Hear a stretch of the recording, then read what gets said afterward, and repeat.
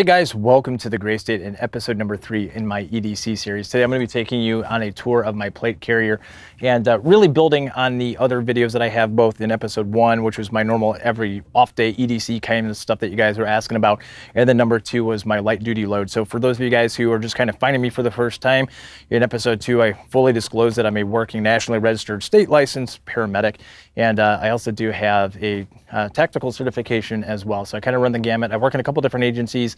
I'm right in between shifts right now. I worked the last two days on truck. I'm into this whole COVID-19 coronavirus thing, and I'm going to be on truck the next two days. So I wanted to get out, get a quick video out the door to you guys, keep the content coming for all of you guys who are, you know, honoring the stay at home right now, which is the right thing to do. Hopefully, you guys, you, your families, and everybody that you love is staying safe. And if you have any questions, stuff about like that, shoot it my way. I'm dealing with it on an intimately basis, um, almost on an hourly basis right now. Um, but it, it's my honor to be able to come out here and kind of show you guys what I'm kind of doing here with this kind of stuff and keep the content going. So that's really it, the that on this one. The only other thing I really want to talk about too is that hopefully you guys see how I take my philosophy of use from my EDC stuff and it translates into a couple of different roles in a couple of different agencies. And, and it's really today's more about the how and why I'm thinking about things in my setup. And, you know, I'm going to show you all the gear that's there. You're going to find that a lot of it's actually really basic. It's not a lot of stuff that's like super high end, high end like Crye Precision or like Ferro concept, you know, Ferro concepts like a Slickster, stuff like that, that you see a lot of times on YouTube. This is going to be more the practical duty side of what you could expect to use on an everyday capacity in these roles and some of the reasons of the why behind it. So that's really it. So I, as you guys can see here, I guess the only other thing I'm going to tell you too is that a lot of the stuff that's going to build on from the stuff that I had before. So a lot of it stays the same. So just translate, like I mentioned. So like I wear, I use the same Oakley standard issues. I also wear Ray-Bans or Smiths. It just depends, right? Um, you guys can go look at the other videos and see what I had there. As far as my pants, they don't change necessarily in this setup, but how I run this stuff does. I try and move a lot of this stuff from down below and bring it up into my workspace because it's going to be a little bit more tighter of a package. I'm working working it in a little bit different of a capacity. Um, other things I can tell you about it too is I generally scrap my duty belt if I can, but all the normal stuff like the carabiners, all those kinds of things are there. But it's really about maximizing the efficiency of for the speed of work that I need to do under more stressful situations, or we'll call them direct threat or indirect threat as paramedics, we tend to work in an indirect threat space. For those of you guys who are familiar with TCCC or TECC or TPC, and the difference there really is direct threat is you're like in the stack and you're going, you're making first entry. Indirect threat, for those of you guys that don't know, is that you're you're you're still you're trying to stay off the X or you're trying to stay in the conceal cover position, um, but you're there, the threat is higher where it could go right to a back back to a direct threat at any moment. And that kind of lends itself to why I have this thing set up the way I do based on the agencies I work at. So with that being said, you guys, you know, your mileage may vary depending on the role that you're in. If you guys are paramedics or EMTs or part of a rescue task force or things like that, it's going to be a little bit different. It's just really a personal preference. And that's the goal today is to show you how I have things set up and how I have them optimized. So with that being said, the carrier itself is actually, like I said, nothing super Gucci or, or glamorous. It's a Condor EXO Gen 2.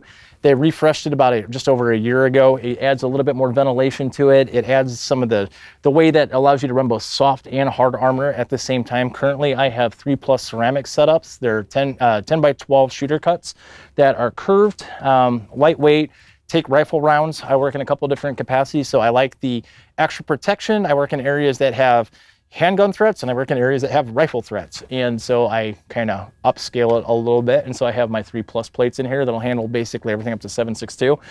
Um, other things about it, it's really set up pretty basically. Um, I guess the other thing I can tell you about it too is that the reason I don't have something super exotic, and while it might be a little lighter, a little bit more form-fitting, things like that, the cost goes up exponentially. And when you're thinking about a duty rig, when you're potentially probably gonna have this thing get smoked on you at any given time, it's not really, I'm not getting that benefit out of it. It's not that much of a weight savings for me.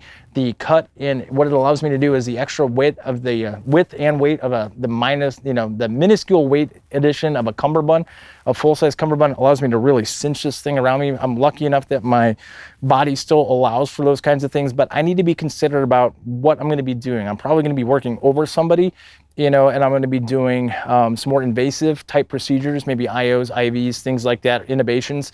So I need to be thinking about how that weight is going to carry on me and how it's going to move forward. And having the little extra fabric there really allows me to get a nice secure purchase around me so I don't have to worry about my gear doing stuff or getting in the way from what I don't need. Um, so that's kind of some of the, the why behind the, the Condor, not something a little bit more um, glamorous. or high end.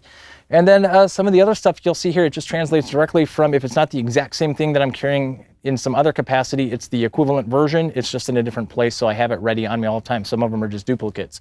So first and foremost, top, the comms. Same situation. I run the exact same comms setup um, between episode two and this one on my plate carrier. It's gonna be a Motorola Apex system. It's gonna be encrypted all bands that we run here in the uh, metro urban and suburban rural areas uh, do use in-air so I can have that fidelity basically um, keep the chatter to a minimum outside of the box here so I can keep things more discreet and uh, clearly identified as a paramedic here. So when I'm on scene, people are not mistaking me for anybody else. Um, trauma shears, Leatherman Raptors. Again, you guys saw these in episode two. It's a duplicate pair. Now they're in black. I just keep them right here in my MOLLE on the outside of this map pocket, which by the way, I don't use the map pocket that much for anything. It's Velcro. It's kind of cumbersome to get to. But the trauma shears, I had one of those sets of the North American trauma shear um, tethering system, and I didn't like it at all. I took it off for a couple different reasons. One, it kind of got in the way, and it kind of made things clunky and cumbersome and kind of clicked all over the place, and it was kind of bulky for what it did. Uh, second thing is there's a lot of times where I'm going to be passing off my trauma shears to somebody, and if I need to do that, it's either going to get me hung up or it's going to get me pulled towards them in that direction as we're working with speed. Not necessarily the best thing when I'm on scene, so I took that little gizmachi off of there, and I run these things just all by their lonesomes, and I've had no problems with it doing that. Uh, staying here on the bottom and going over from your left to my right, however it works. Uh, Hogue Tactical Pen pen super important for me. One-handed operation. You guys have seen it now in a couple videos. If you haven't, I'll put links into it. It's a really super cool pen. I'm not going to go into depth on it. I have been rocking it for a while now, and I have absolutely no gripes with it. I love it every more every shift I have with it. I just like it that much more. The admin pouch itself is actually nothing super Gucci either. It's a Condor. I thought it was originally a Voodoo Tactical. It's not. Um, I run it more like as an IFAK or a mini attack pack. And I've got, I'll go into it here in just a second. Well, I'll just do it right now zips open and I've got things that you would expect a tactical paramedic to have in a plate carrier. No surprise. I've got some chest seals. I've got HyFin Vents from North American Rescue. Halos also work really well. They're both kind of the gold standard. Uh, some QuikClot combat gauze right here for wounds. A couple non-adherent pads right off the bat. I've also got a bunch of alcohol prep pads. I usually have a couple extra pairs of gloves. I have a backup Rite in the Rain pad in there. I tend not to use that. I do keep that down in my pocket. Other thing I usually have in this up here on top as well, but I have them right now, is also gloves. Of course, PPE. From a Gucci perspective, tactical perspective, I don't go off and do all the whole bear claw or anything like that. I go through way too many pairs of gloves on a daily basis to really go through those. I use the ones from the hospitals and then also our own services. So I've got both black and blue. Blues are great for blood sweeps in this capacity. But you can go out, you can get the really cool stuff like the bear claws and things like that. Uh, I just, I don't use them um, personally because I just go through them too quickly. I, will probably go through legit like 50 to 75 pairs of gloves in 12 hours. So that's kind of my thoughts on that. Outside of the admin pouch, the other reason I like this one is not because it has a tear down ID for my identification, but because it does have, I guess you could call it a pepper spray pouch, or I use it as a flashlight pouch.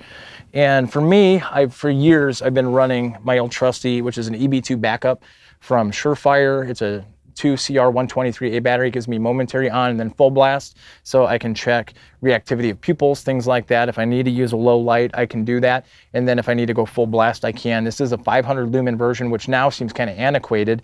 And so I've been testing something else and that's what I'm gonna show you right now. I'm not gonna go into a full depth review right now on it, but I will be creating a video on it because this is something I've been using for a bit now on duty it's from Olight. It's an M2R Warrior, and it's got a lot of things I really like about it, and then some things that I don't like about it, and it's keeping me from pulling the trigger on using this as my new duty light.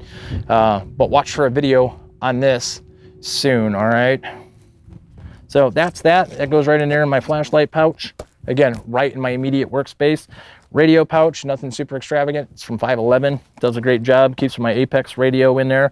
I do have a fat Sharpie on here for writing on people if I need to put some important information on them and I don't want it getting lost. Sharpies are great for that. And then uh, over here on the side, it's a Cat 7 tourniquet from North American Rescue. Again, kind of a gold standard right there. I am using a Blue Force MOLLE uh, quick holster right there for the, uh, the tourniquet itself. But that is really the tour of the plate carrier. Of course, other stuff, I'm gonna have bump helmets and ballistic helmets. I'm not gonna get into that right now. Um, this is gonna be a quick video. Just I wanted to give you guys a quick rundown on the plate carrier as I've been talking about it. Also show you how stuff just kind of migrates from everyday use, you know, whether it's a pen, flashlight, things like that. And then it just translates into a bunch of different roles. So that's really it for this one. Hopefully you guys found it informative entertaining, loosely informational. If you guys have questions, comments, feedback, anything like that, go ahead and do it. I'm going to be back on truck the next couple days dealing with this COVID-19 thing. Um, but by all means, I'll usually have my phone with me. I can check and see what's going on with the comments and interact with you guys. I appreciate the uh, support so far, things like that. And uh, hopefully you guys are, like I said, hopefully you guys are staying safe. You're at home, you're hunkered down, you have the things you need, you're with your family, you guys are having a great time, you're, you're staying sane, and uh, I'll continue to pump out content as I can um, to kind of contribute and hope you, hopefully give you guys something to watch and uh, check out while you're sitting at home, you know, trying to avoid the COVID. So I guess that's it for this one, guys. Until next time. Oh, like, subscribe, check me out on Instagram at Grey State Medic. I'll be posting stuff out there. I already do daily. So yeah, that's really about it for this time. Until next time, stay safe.